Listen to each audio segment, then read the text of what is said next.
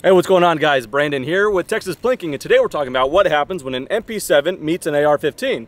Reason I say that is this is a CMMG Banshee, as you know them to be with the AR ergonomics and the pistol configuration, but in a new chambering. New offering, it is the 4.6 by 30 millimeters, which is the famous round that the MP7 was chambered in.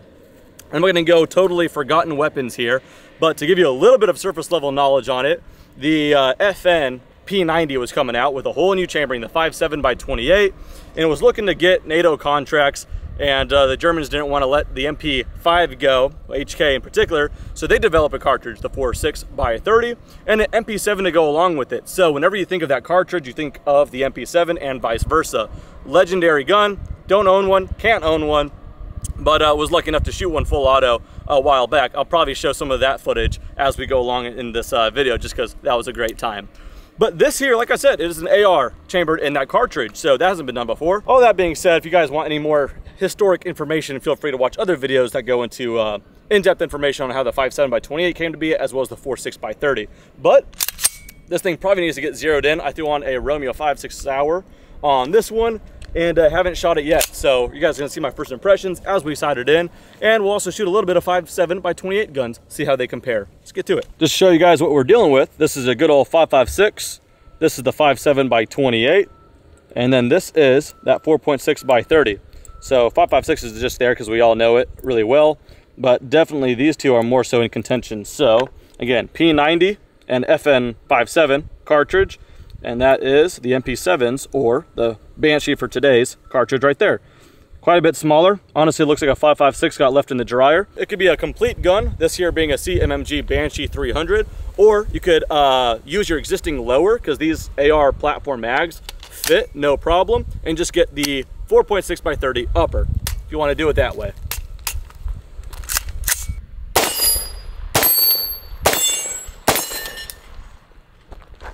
Seems to be sighted in enough. Tell you what, it doesn't move at all, but it's actually pretty punchy. So it's not like too violent by any means, but um, it kind of barks more than I thought. It's actually a pretty big bang. Maybe that muzzle brake has something to do with it, but it doesn't move. Let's see if we can rapid fire a little bit.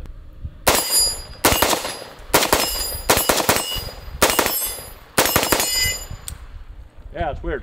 Let's see if it has enough energy to move the uh, dueling tree.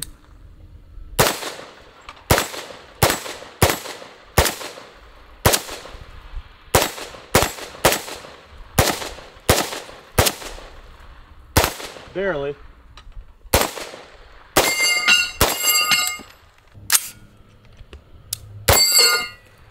Go for that water jug, see how it acts a little bit here. Kind of zips right through. We're dealing with full metal jackets. All right, we'll just dump it on it. All right, a little test here. Got one in the chamber, two in the mag. I'm gonna just dump them quickly. We'll move on to uh, a 5.7 by 28, see how it feels any different. This here is a Diamondback DBX 5.7, and I just threw out three bucks. All right, oops. We'll get that later. Let's do three again. Yeah, this thing's so much flatter. And I know the Banshee's also got an upper kit and all that in this caliber, but interesting. I would have thought that the 4 6 by 30 would have been a, a little bit softer just because it's slightly smaller, but anyway. All right, next part of the video might be kind of interesting. So this is not sponsored. I was just sent this. They reached out to me on Instagram. This is Leo Core Armor, and they said that it is the cheapest level 3A body armor. How cheap? Well, I'll tell you the price, but as far as the quality, we're about to find out. Um, yeah, level 3A plates these are 35 bucks each. If you get two with this carrier, the whole deal is like 95 bucks.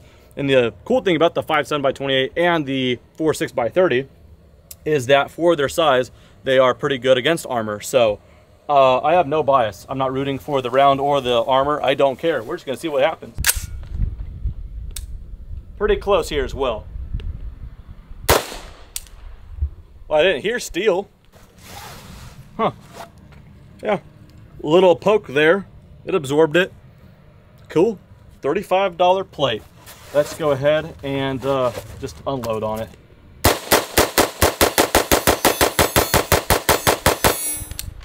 I started hearing some steel. Kind of what happens eventually it'll give away. Not too big of a surprise. I just like to break things. There it is. Well, I'll tell you what, we'll go ahead and throw it out to the side. We've got another plate here. Let's mag dump it with a P90. All right, y'all haven't seen this in a little while. This is my registered SBR PS90.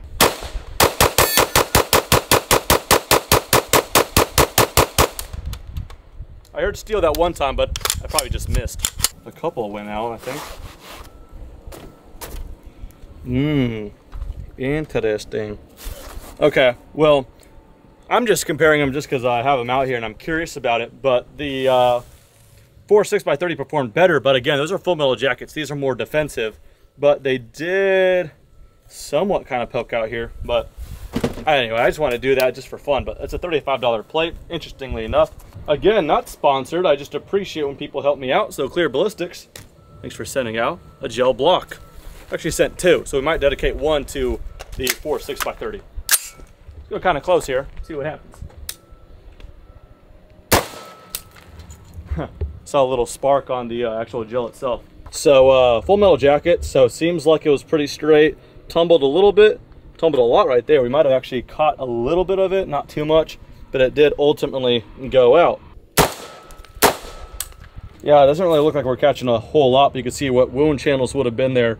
They tumble pretty good, but ultimately they all go out. Smoking. Yeah, look at that. Look how consistent that is. And then look at those bullets trapped. One made it here, the other two made it right here. The bullets made it just about one length of a DBX 5.7.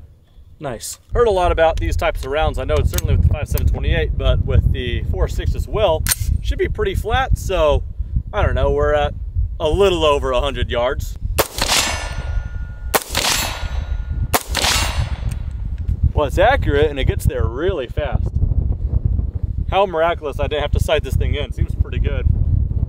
It gets there like a rifle though. Um, like a 5.56 nearly. It's fast.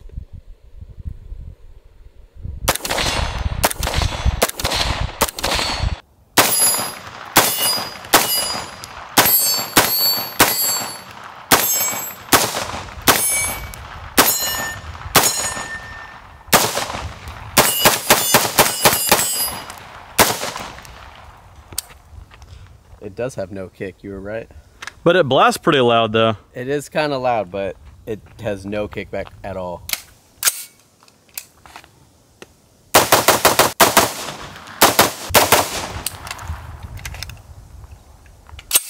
All right, guys, that's about going to do it for this video. Again, this was the CMMG Banshee 300 chambered in 46 by 30 The Banshee is offered in so many different calibers, and I have a few.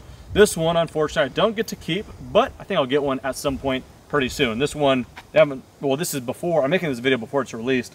So it's to make its rounds with some people to make videos with, but it's not necessarily a sponsored video at all. They were nice enough to send ammo and let me play with it. But I'm to take my red dot off and send it off to the next person to review it. But hopefully you'll see one that is my own before too long. But at first, if I'm being honest, I didn't understand the point. I thought it was to be cool, but for kind of a rarity uh, round and all that kind of stuff, I didn't know why you would exactly need something like this. But seeing how effective it is, actually even on armor when you rapid fire it or on the ballistics gel. Very, very cool package here for recreationally shooting or some varmints or whatever else. Um, very, very cool. Actually dig it. And uh, yeah, I don't know if there's much more I need to say on it, but that does it for this video. I'll see you guys very soon. Take care.